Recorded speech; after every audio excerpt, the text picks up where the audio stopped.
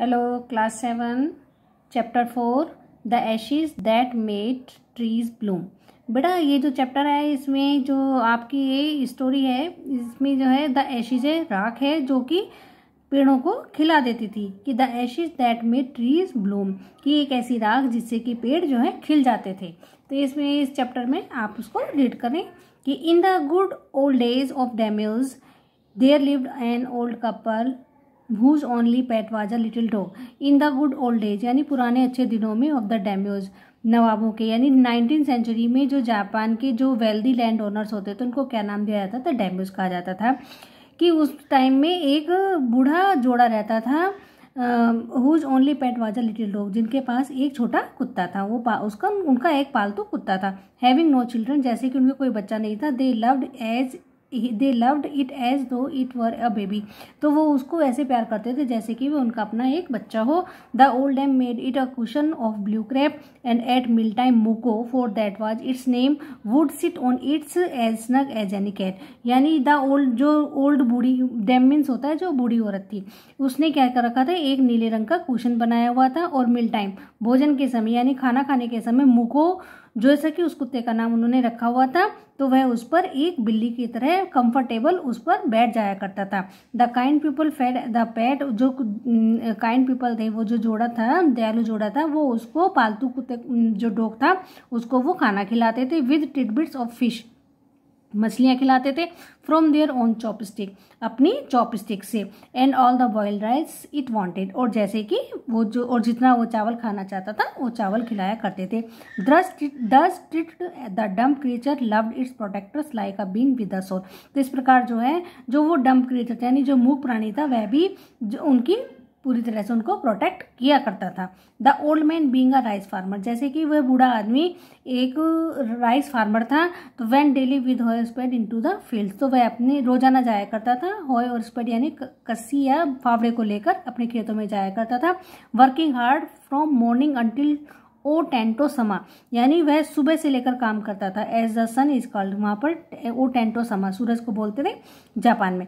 तो had gone down behind the hills every day the dog followed him और जो रो, रोज़ाना जो डॉग था वह भी उसको फॉलो करता था। उसके काम पर जाने में never once harming the wild heron that walked in the footsteps of the old man to pick up the worms तो बिना उसको नुकसान पहुँचे। रास्ते में एक वाइट हेरन मिलता था वाइट हेरन मिलते थे उसको तो वह जो है उसके जो बूढ़े आदमी के जो फुट स्टेप्स थे, वहाँ से वो जो है उनके जो पिकअप करते थे किसको वॉम्स कीड़ों को तो बिना उनको नुकसान पहुँचाए वह उसके पीछे चलता था। For the old fellow was patient and kind to everything जैसे कि वो ओल्ड फेलो जो यानी बूढ़ा व्यक्ति था, वह जो है, जो जीवित जितने भी सजीव प्राणी थे, उनके प्रति वो क्या रखता था? दया भावना रखता था। और वह उनके खाने के लिए कुछ ना कुछ ले जाया करता था। पक्षियों वगैरह के लिए वह कुछ ना कुछ अपने साथ में उनको खिलाने के लिए ले जाया करता था। One day the dog came running to him एक बार वो कुत्ता, वो जो डॉग जो है, उसके पास दौड़ता हुआ आया putting his paws against his legs and motioning with his head to some spot behind तो वह जो है दौड़ता हुआ उसके पास आया और उसने जो है अपने टांगों को, उसकी टांगों के बीच में जो है उसने थोड़ा उसको मोशन किया और अपने सर से वो एक जगह के बारे में मतलब सर को हिलाने लगा और एक जगह के बारे में उसको बताने लगा।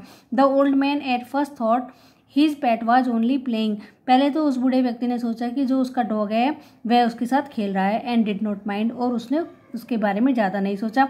But the dog kept on whining and running to and fro some minute लेकिन जब उसने देखा कि वह डॉग जो है, कुछ मिनट जो है इधर उधर दौड़ा तो then the old man followed the dog the वह जो ओल्ड मैन था, वो उस डॉग के पीछे गया।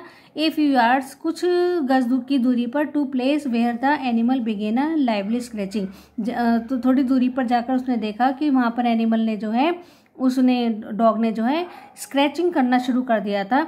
Thinking it was possibly a buried bone or bit of fish तो ओल्ड मैन ने सोचा कि शायद यहाँ पर कोई हड्डी का टुकड़ा होगा या मछली वगैरह होगी। तो the old man struck his hoe in the earth तो उसने अर्थ उसने अपनी उस अर्थ में जो अपने जो स्ट्रक था जो हॉय थी, उसको जो है उसमें गाड़ दिया उसमें। वैन लो तभी a pile of gold gleam before him उसको जो है एक सोने से चमक, सोने के सिक्कों से चमकता हुआ एक ढेर दिखाई दिया। Thus in an hour the old couple were made rich तो एक ही घंटे में क्या हुआ? वह जो बूढ़ा, वह जो ओल्ड कपल था, वह अमीर हो गया। The good souls bought a piece of land तो उस जो कपल था, उन्होंने एक ज़मीन का टुकड़ा खरीदा made a feast for their friends अपने दोस्तों को उन्होंने दावत दी फीस्ट मीन्स होता दावत देना। And gave plentifully to their poor neighbours और जितना वो उनके लिए कर सकते थे, अपने गरीब नेबर्स के लिए उन्होंने किया। एज फॉर द डॉग और डॉग के लिए they pet him till they nearly some smothered him with kindness और उसको, बड़े प्यार के साथ उसको उन्होंने अपने डॉग को थपथपाया now in the same village, उसी गाँव में there lived a wicked old man and his wife उसी गाँव में जो है, एक विक्ड ओल्ड मैन रहता था, अपनी पत्नी के साथ। विक्ड मीन्स होता है बुरा लालची। नॉट अ बिट सेंसिटिव जो कि बिल्कुल भी सेंसिटिव नहीं था और काइंड नहीं था।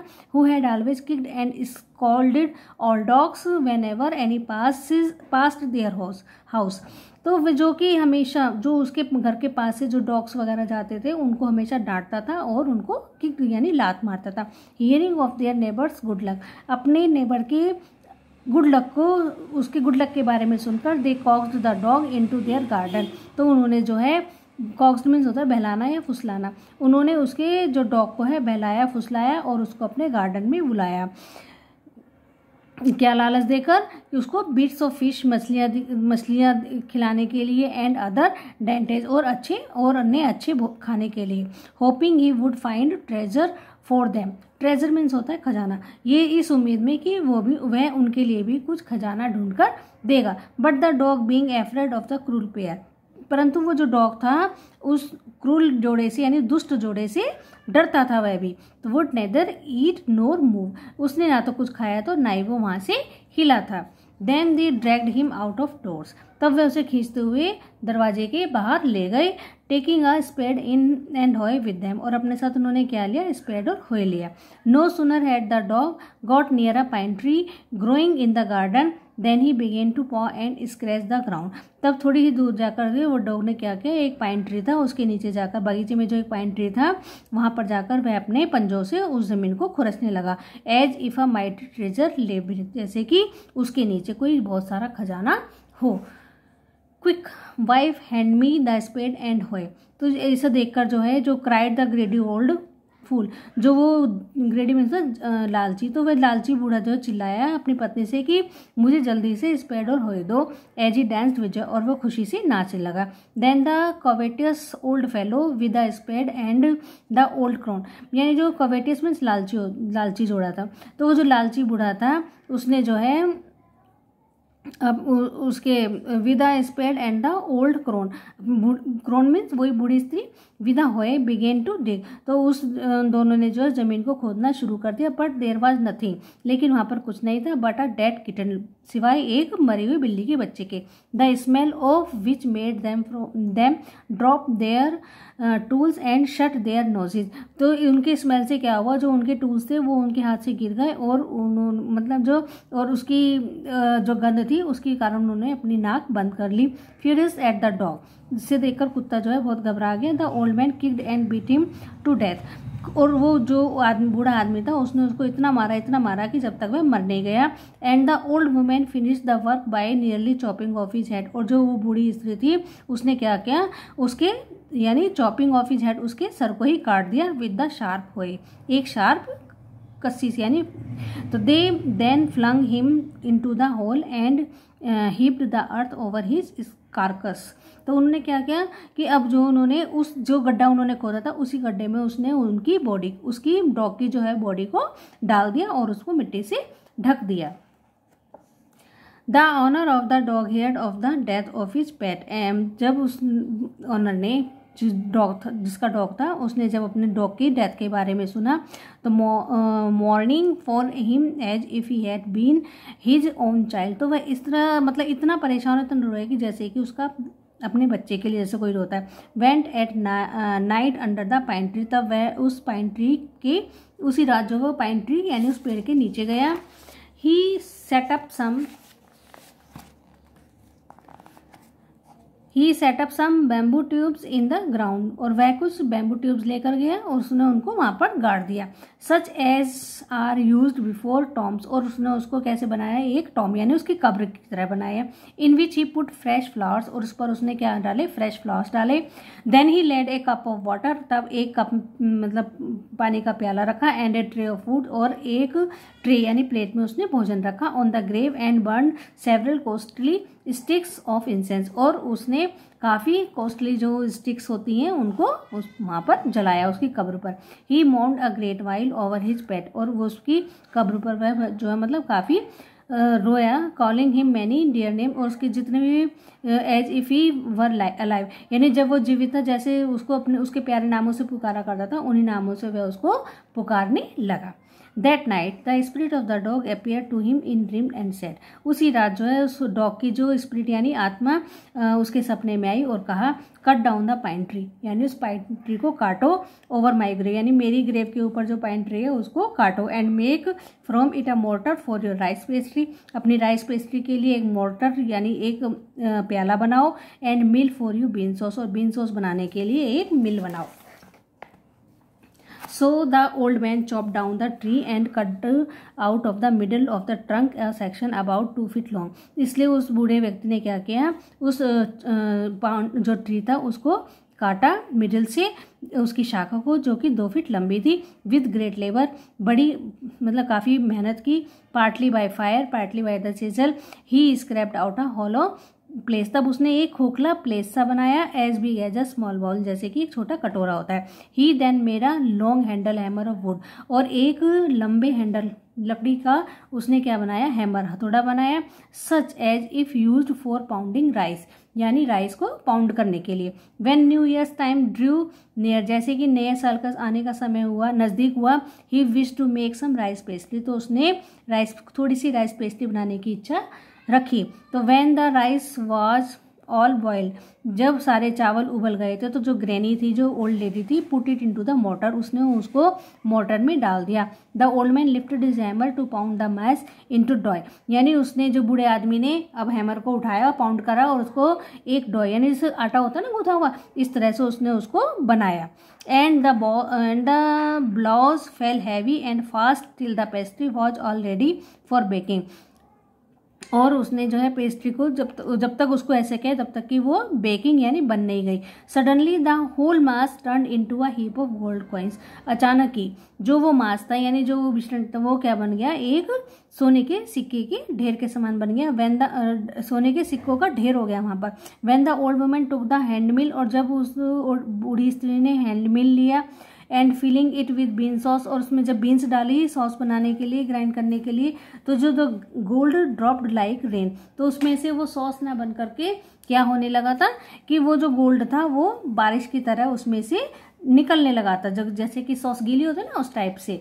तो meanwhile the envious neighbour peeped it in at the window तो ये सब जो नज़ारा जो था, वो ये सब कहाँ से देख रहा था, वो लालची जोड़ा जो पड़ोसी था, वो एक अपनी खिड़की से झाँक रहे थे when the boiled beans were being ground goody me cried the old hag तो वो जो लालची जोड़ा था, वो चिल्लाया as she saw each dripping of sauce turning into yellow gold जब उन्होंने देखा कि जो सॉस थी वो येलो गोल्ड यानी सोने में बदल रही थी until in a few minutes the tub under the mill जो मिल के नीचे जो टब रखा था कि वो थोड़ी ही देर में क्या हो गया, सोने से चमचमा, यानी सोने से चम, चमकने लगा।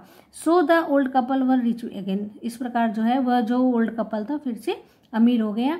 The next day the stingy and wicked neighbour came तो अगले दिन जो है वो लालची और दुष्ट पड़ोसी आए and borrowed the mortar and magic mill और वो उनसे मैजिक मोटर और जो मैजिक मिल थी वो उधार लेकर चला गया they filled on they filled one with boiled rice and the other with beans एक को उन्होंने चावलों से भरा और दूसरे को बीन्स से। Then the old man began to pound and the woman to grind तब वह जो बूढ़ा व्यक्ति जो उसको पाउंड यानी कूटने के लिए तैयार हुआ और वुमेन जो है ग्राइंड करने के लिए but at the first blow and turn लेकिन जैसे उन्होंने पहले उसको किया था वो किसमें बदल गई? Pastry and sauce turn into a जो फॉल यानी बदबूदार कीड़ों में बदल गई। Still more angry at this इस पर गुस्सा होने के बाद they chopped the mill into pieces to use as firewood तो उन्होंने क्या किया? उसको मिल को और मोटर को उन्होंने तोड़ दिया और उसकी मतलब उसको जो है, उसमें जो है फायरवुड यानी लकड़ी जलाने के काम में ले लिया। ठीक है बच्चों, आज ये हमारा फ़र्स्ट पार्ट इसका ख़त्म हुआ है। कल सेकंड पार्ट स्टार्ट करेंगे। ओके थैंक यू बेटा। इसको आप सब अच्छी तरह से रीड करना है इस चैप्टर को। थैंक यू बेटा।